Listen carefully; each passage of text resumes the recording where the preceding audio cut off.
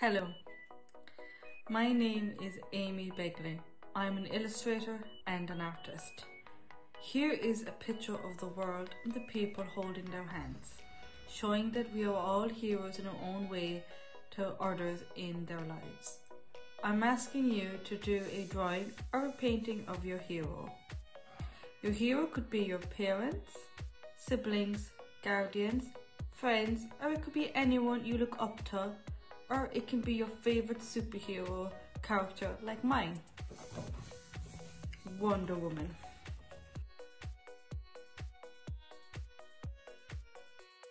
We will exhibit all of your artwork on the Arts for All website over the coming weeks. Thank you and stay safe and stay creative.